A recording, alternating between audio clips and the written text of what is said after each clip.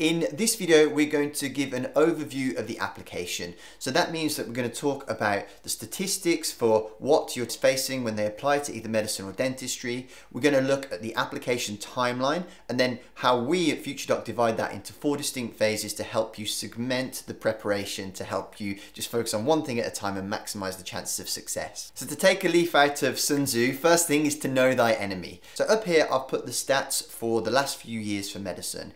And as you can see, what has happened is that there were a peak in numbers of applications during the COVID pandemic.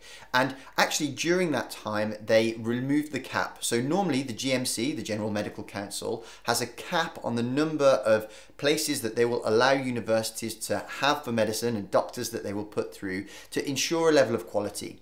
Now, during COVID, they actually took that off. So the cap came off and the places went up to 10,500. Also at that time, because doctors and medicine were very much in the media and at the forefront of people's attention, the number of people applying also hit an all-time high.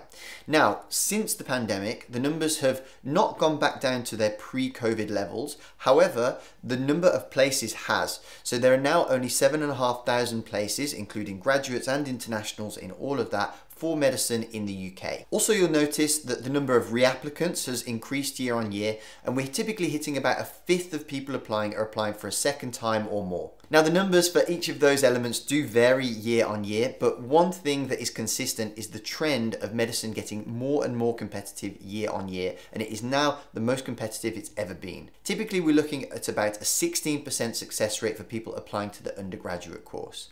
Now that changes a lot for graduates, that's about 3% or actually slightly under 3%, and then for internationals it's about a 6% success rate of those applying. Now for dentistry the numbers are less well published, but there are about 1,000 1,100 places available every year, and it has about a 15% success rate. So actually, in recent years, uh, it has overtaken medicine for the undergraduate level for its level of competitiveness. Now, really, we don't want to worry ourselves too much with these competition ratios because essentially all it does is gives us the bar for where we need to be. As I said, my ethos is to raise ourselves a level that they are so good that they're not really worried about the competition because they're the kind of person that are very difficult to reject. And that's what we're going to talk about in the next few videos as to how we can make ourselves one of those students. Now the next thing I want to do is show you the application timeline because that is going to orientate everything around our efforts with applying to either medicine or dentistry.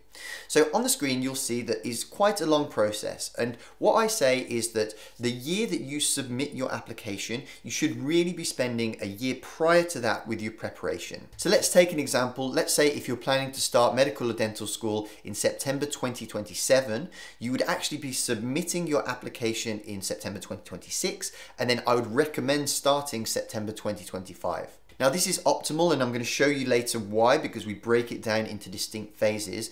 Of course, we get people who come very last minute and yes, it's more stressful and more chaotic and we have to put a lot of intense work in and we can get people over the line with that sort of short-term preparation. But I'm certain that if those people had come to us sooner in the process, firstly, they would have found it less stressful. They would have probably raised themselves to an even higher application level, which would have meant that they could have got into a more competitive university or maybe one that they really had their heart set on rather than settling for what you can do coming last minute and kind of scrambling around to really uh, clutch at straws and get what you can in terms of the med schools available to you. So going back to the application timeline again, which by the way, if you would like a copy, you can get that for free on our website, but you will see that everything works backwards from an application point of view from the May of the year that they will go to either medical or dental school. So going back to the previous example of say they start the course in September 2027 Everything will be done by May 2027. That is when offers are dished out and accepted and all of that sort of stuff comes to a final point. So again, working back from that May, they would have submitted their application the September of the year prior and really should be preparing or starting the journey the year prior to that. Now, from the point of preparation when they start, there are things like work experience, the aptitude tests, writing a personal statement, choosing medical or dental schools, and then interviews. Those are the main five steps and the main areas of focus of how we prepare people here at FutureDoc. Now they come in different orders, but now that you understand the timeline of it, to make it easy, I break it down into phases. Now the reason I break it down into these four phases is because If you do this, you can set your focus intensely on that particular phase and as much as is possible, almost tick it off, forget about it and move on to the next one. Now of those four phases, the first is what I broadly call CV preparing.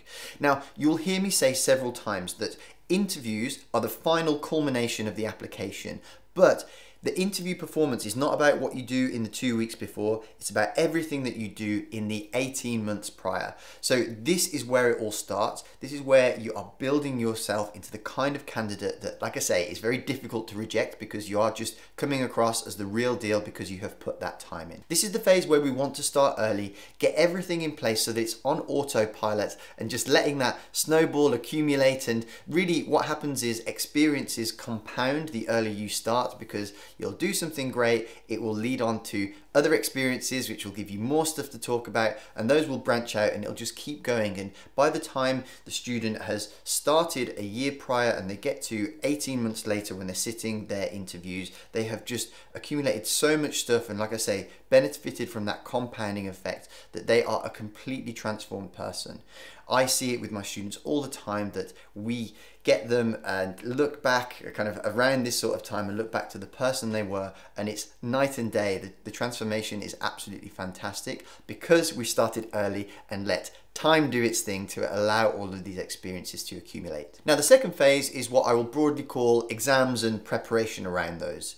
Now it will start with typically if they're a graduate student taking the GAMSAT exam, that starts early on in this phase. However, for most people who and the rest who aren't doing that, it will be around probably A-level exam preparation, it will probably be university exam preparation if they're a graduate, then it will be all about preparing for the UCAT and starting to put the elements of a personal statement in place. Now, the third and arguably the most hectic of these phases is what I call crunch time, because this is where it's all happening and it's the summer prior to submitting the application and it will be a very busy time. It will be a culmination of some of the preparation and some of the things that have been organized in phases one and two. So for example, this includes sitting the UCAT. Maybe they in the student has been trying to arrange some work experience, but feasibly they couldn't do it until summer. So it's actually execution of the shadowing experience. We're going to talk about the different types of work experience in another video, but usually that is the one that is done in summer, if not better before.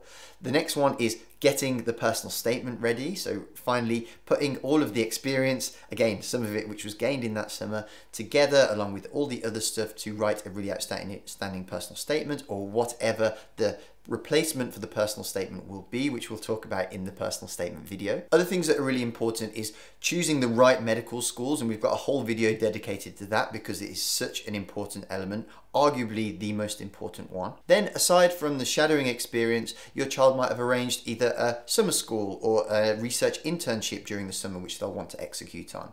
And then finally, in September, so at the end of the summer, is when the UCAS application window opens and it'll be time to put all of that together and to submit their application on the UCAS portal. So now would be a good time to talk about UCAS. It's the University and Colleges Admission Service and it's essentially the big portal where anyone who's applying to university will submit their application. Now there are some private universities that are not included in that, some medical, not so much any dental schools, but medical schools do have private ones that are off UCAS and you apply to directly, but the majority of medical schools will be on this portal. Now UCAS opens its doors for applications to be submitted usually a week into September. Now the really important thing to remember is for medicine and dentistry applications is that UCAS, the submission deadline, is much much sooner than all the other courses. So typically the other courses are around the end of January. For medicine and dentistry, it's usually around the 15th of October. It does fluctuate by bit, but typically around that date. So a very short window within which to submit the application. So during that phase three, there will be a lot of stuff going on, personal statements being written, like I said, uh, also needing to get tutor references, either from somebody at university or school, and usually the institutions will be able to advise you on that, but other things to consider. So a lot going on, and like I say, it's all about the preparation prior in those phases two and one, but then it's all about interviews. So once they have submitted submitted their application, it takes a couple of months for universities to decide who to invite to interview. Then they will get a date and then they will go and be interviewed and we'll talk about that and how that works later. But essentially, they will then go through the interview prep phase and actually doing the interviews and then we'll typically find out a few weeks to maybe a couple of months later like I said with that final deadline being in May to make sure that all offers are made and all um, answers to the offers as well are accepted. Now, if you've done well enough to get more than one offer, they will be asked to respond to these offers by choosing a firm choice and a backup choice. Now, of course, the firm is their first choice university and their backup is typically reserved when people have a firm choice that has quite high grade requirements and then they will typically go for a backup that has a low grade requirement so that if on the day of A-levels or, or maybe degree results day, they don't get the high higher grade that's required for their first choice, they will at least be able to meet the grade requirement for the one below and that's the one they'll end up going to. So if for example, the student chooses a firm that has a grade requirement of A star AA and a backup of three A's and on A-level results day, they find out that they got the three A's instead of the one A star plus two A's, they would then go to their backup university and that would be the one that they end up uh, going to and joining. Now you don't always have to choose the one with the highest grade requirement as your firm or your first choice. I personally went to the university that had the lower grade requirement because simply that was the one that I wanted to go to. However, that left me in a situation that if I didn't get the grades for my firm, then the conditional one was a higher requirement anyway, so that meant that I would have got into neither. But realistically, in that situation, it didn't matter regardless because if I hadn't made the grade for the second one, then I wouldn't be going to either of them, no matter what order I put them in.